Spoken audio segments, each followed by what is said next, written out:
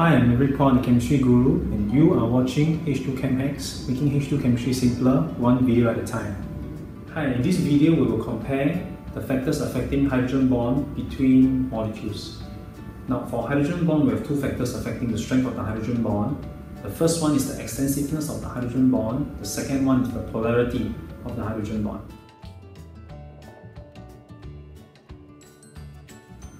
Now, extensiveness of the hydrogen bond refers to the average number of hydrogen bond each molecule can form with a neighbor. So, if a, a uh, particular molecule can form more hydrogen bonds with more neighbors, so on average what you need to do is you need to pump in more energy to break more hydrogen bonds per molecule.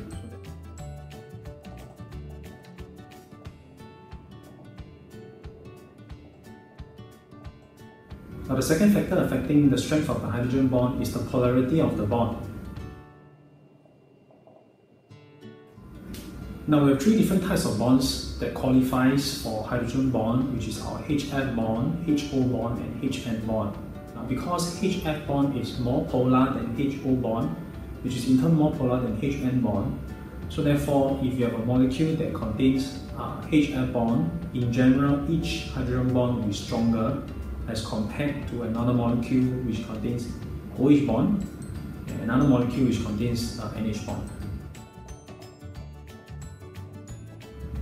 Now again, it's important for us to take note these two factors, which one is the one that's more important. Extensiveness is the more important factor that affects hydrogen bond. So when we are comparing two molecules that can form hydrogen bond, the molecule that can form more extensive hydrogen bond will have overall stronger hydrogen bond.